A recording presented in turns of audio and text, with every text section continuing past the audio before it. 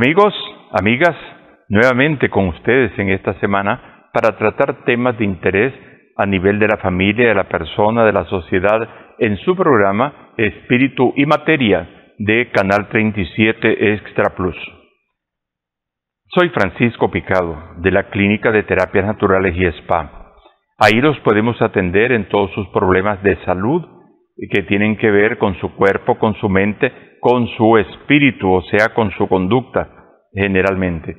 Eh, tenemos para eso la misma consulta, diferentes tipos de consulta. La consulta ordinaria, consulta con ideología, eh, terapia, mejor dicho, consulta cuántica de resonancia magnética. También tenemos eh, consulta a través de las diferentes partes reflexológicas. Además de la consulta, por supuesto, tenemos las terapias.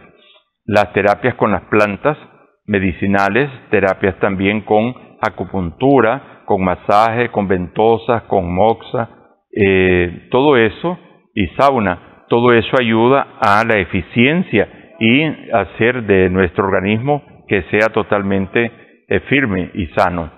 Estamos situados en la colonia Cristian Pérez, o sea, Salvadorita, eh, de donde fue el antiguo Cinerex, 75 varas al agua. Ahí nos pueden los podemos atender de lunes a sábado, algunas veces hasta los domingos en la mañana, para cualquier servicio que ustedes tengan. Hay plantas, eh, porque tenemos una tienda y algunos productos que pueden visitar, pedir consejo y llevar. Como hemos señalado siempre, tenemos cursos de medicina natural, de acupuntura y también eh, de diferentes tipos de masajes. Eh, elaboración de productos naturales que acabamos de pasar, ustedes llaman a nuestro teléfono que está por ahí en la pantalla para que se les dé la información o nos visitan, ya conocen, ya dije, la dirección. Amigos, vamos a tratar hoy, hoy un tema que no deja de ser preocupante, en el sentido de que todos ahora hablamos de las plantas para curar nuestras enfermedades.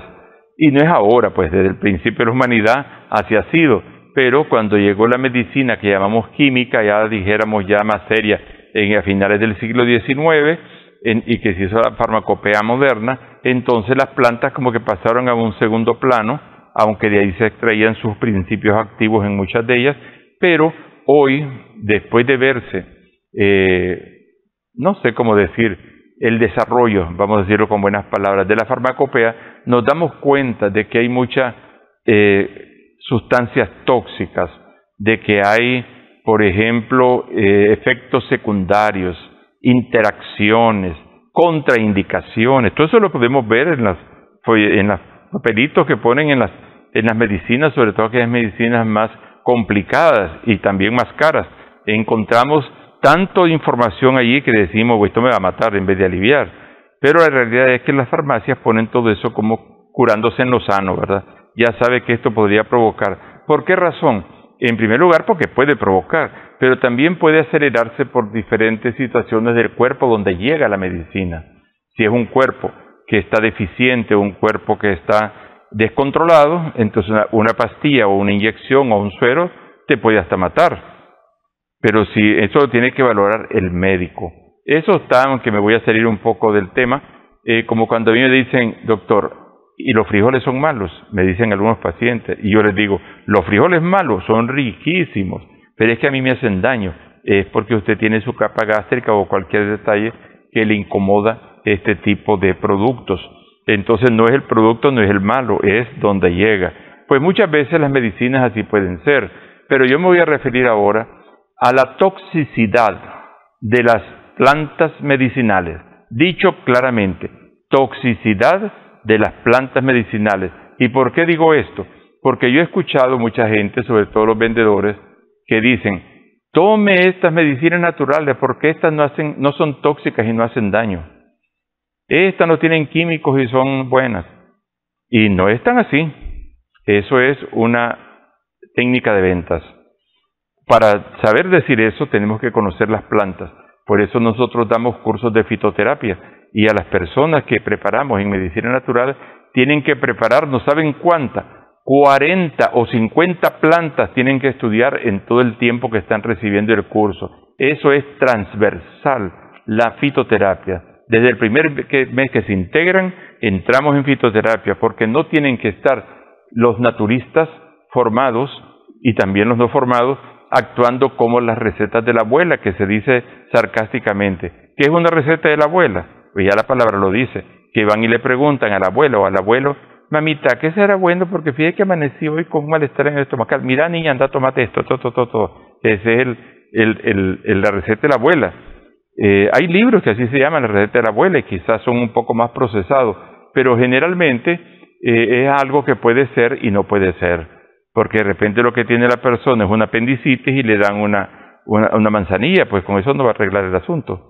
Tiene que hacerse un diagnóstico y tiene que darle lo adecuado hay cosas que son caseras, como se dice, fue una gran comilona y al día siguiente está con le dice, tomate un alcacelser. ¿Y qué tal si la persona es alérgica al ácido acetil salicílico que lleva el alcacelser, como me pasa a mí? Yo soy alérgico al ácido acetil salicílico y no puedo tomar ni aspirinas, ni alcacelser, ni nada de eso. Y la persona no sabe y le dan eso y se brota, porque es una de las reacciones que hace. Entonces, hoy vamos a tratar la toxicidad de las plantas medicinales, para que no pensemos que no son tóxicas.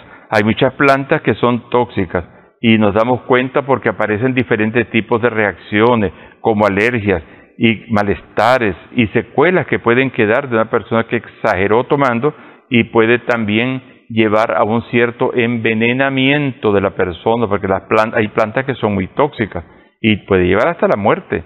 De hecho, en el pasado, a los reyes, a los monarcas y, y yo no sé, y quizás también ahora con una poción de alguna planta, ¿verdad? Le dan unas extra dosis y se va.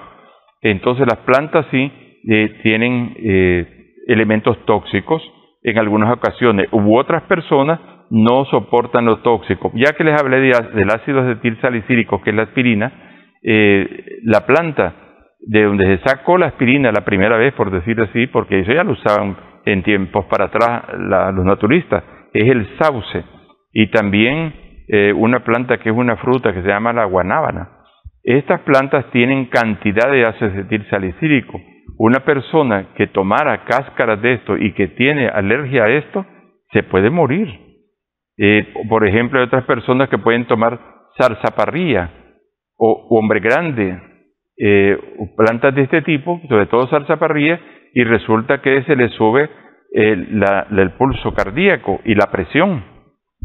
Yo soy uno, estoy hablando en, en carne propia, eh, y la zarzaparrilla a mí no me va bien. Una vez tomé porque venía combinada con otra y de repente yo no soy, eh, padezco de presión y de, de presión arterial y de repente me sentí todo raro, caliente, me tomaron la presión y era eso. Entonces no cualquiera puede tomar cualquier cosa en nuestra clínica nosotros hacemos y enseñamos a los alumnos a hacer la prueba del bioenergético, que es una prueba que se hace así, o se hace con un péndulo, y probamos las plantas, cuál planta le va y cuál no le va, y también muchas veces el conjunto de plantas que va a tomar, como cuando se hace una tisana, también tiene que ver si son, eh, si convienen unas con otras, si son compatibles una con otra. Todo eso es importante para eh, trabajar las plantas, o sea, no lo podemos hacer de una manera indiscriminada. Una de las razones por las cuales las plantas pueden ser peligrosas es por los principios activos que tienen. Mire, la naturaleza es un gran laboratorio y nuestro cuerpo es un gran laboratorio. Aquí hacemos mil procesos, procesos líquidos, procesos de aire, procesos de la sangre, procesos de los alimentos. Toda esa maquinaria tiene que trabajar acorde. En la naturaleza, por ejemplo, los árboles ahí están, y lo más hermoso que hay en este mundo. No sabemos qué decir, si las aguas o los árboles, o las nubes, o el cielo, o la tierra. Pero al menos de los árboles, los árboles pasan en un trabajo, eh, como dijéramos, frenético. En el día ellos están absorbiendo por sus raíces, por la savia, van absorbiendo los nutrientes, tienen ya su información genética cuando ellos van a florecer, digamos que ya maduraron, cuando tienen que dar su fruto, eh, toman el aire, tienen el oxígeno también por medio de las hojas, hacen la fotosíntesis y también tienen algunas sustancias los árboles que llamamos nosotros leche o venenosos o espinas. ¿Por qué creen ustedes que los árboles han en la evolución eh, adquirido esas defensas? Una leche de esa muchas veces te quema o quema un insecto, o una espina, o, el roce con un, cierto tipo de ojo árbol, porque ellos tienen un mundo que va creciendo y cuando se ven con acechanzas de animales grandes o, insectos o de personas, ellas expelen ciertas sustancias que se protegen. Entonces, eh, fíjense que cuando en el siglo XIX se comenzaron a, sacar los, eh, las propiedades, las propiedades activas de las plantas para hacerlas en cápsulas, en pastillas, en lo que sea, un montón de gente se murió porque no, la, la química no podía todavía analizar los diferentes componentes químicos y unos eran tóxicos y otros no lo eran, porque la planta en su, en su conjunto, ella sabe protegerse, tiene tóxico, pero también eh, alivia el tóxico. Y pero si usted le saca las propiedades activas solo en un sentido, sin, sin protegerla, puede matarlo y mató cantidad de gente al principio y todavía estará matando gente cuando hacen los experimentos, pero ahora tenemos más información. Entonces las personas pueden eh, tener eh, problemas por que no asimilan o, no se conoce los principios activos de las plantas. Otro eh, es otro problema que puede tener es que las personas tienen reacciones a ciertas cosas como estábamos hablando. Podrían ser reacciones alérgicas, reacciones cardiovasculares, hepáticas, renales, neurológicas, gastrointestinales, entre otras. ¿Por qué razón? Porque cuando usted toma una infusión o toma una planta, eso entra a su cuerpo, llega al estómago y empieza a pasar por medio de los intestinos, eh, a los, eh, llega a los riñones, llega al hígado y pues, los intestinos mismos, y tanto los pulmones como los riñones y el hígado, para hablar solo de ellos, son filtros. Y cuando llegan estas sustancias tóxicas, sobre todo al hígado, entonces no las puede eh, totalmente tamizar, dijéramos, eh, limpiar, como cuando una persona va el sábado y se toma no sé cuántas cervezas y pierde control, no mira bien, vomita, habla tontadas, etcétera, porque eh, el, su, su hígado no puede procesar tan rápidamente la gran cantidad de alcohol que ha tomado. O cuando alguien se excede en un tipo de alimento y le da un vómito o le da una indigestión porque la, la calidad y la cantidad de alimento la exageró. Entonces igual pasa con las plantas.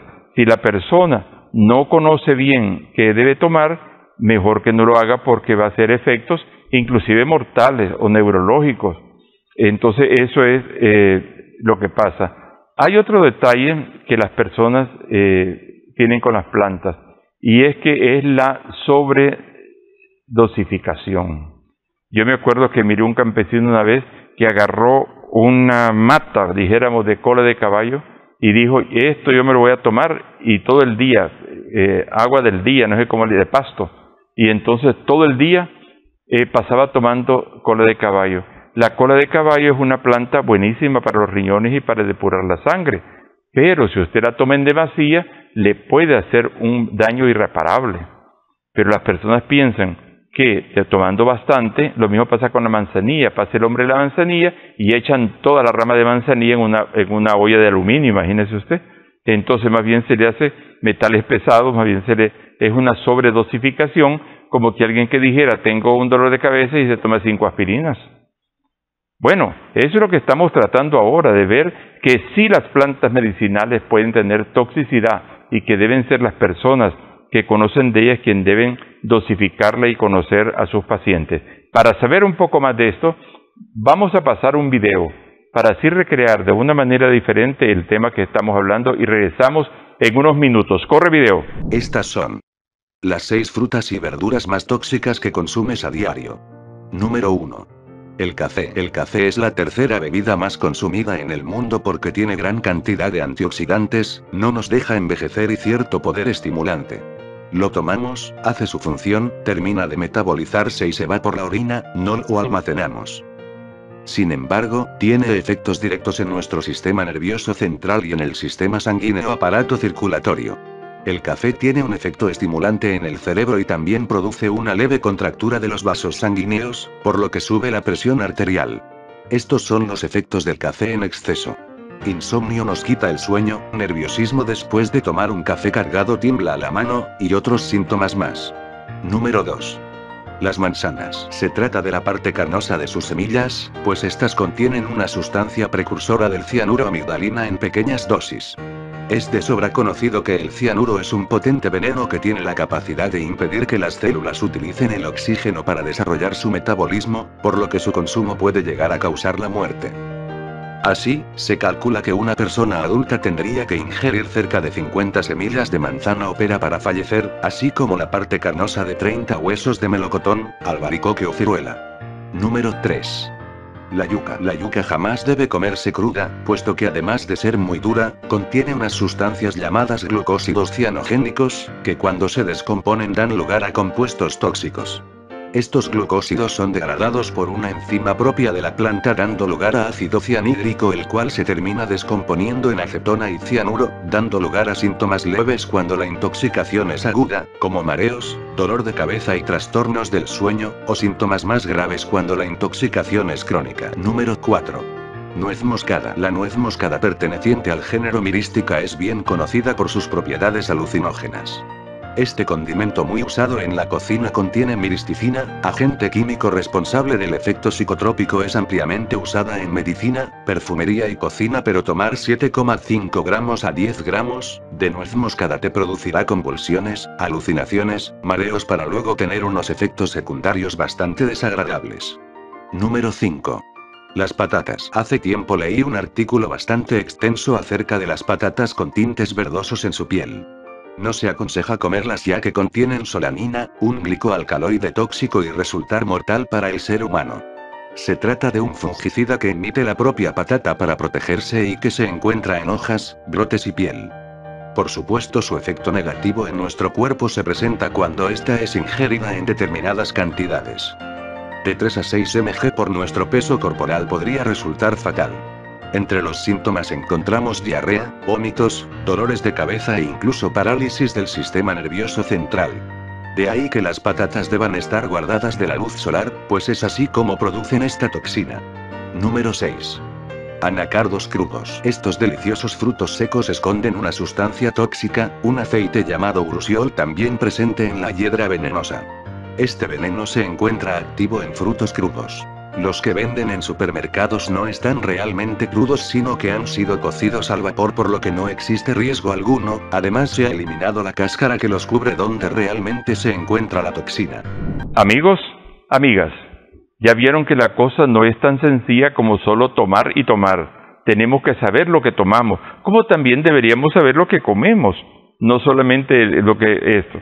Otra cosa eh, es que las personas tienen problemas muchas veces con las plantas medicinales porque se confunde. Confunde, le dijeron, mira, esta planta es tal cosa y no es tal cosa. O fue a comprarla y estaba mal empaquetada.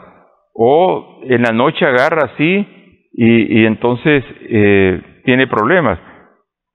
Otra puede ser que la planta que va a tomar no está debidamente, ¿cómo diríamos?, presentada o empaquetada, no sé cómo llamar, va a comprar una planta que la venden en una bolsita, en lo que sea, inclusive en una cápsula, y no fue preparada adecuadamente y lleva ahí bacterias, puede llevar hasta virus, puede llevar hongos, puede llevar hasta parásitos si quieren.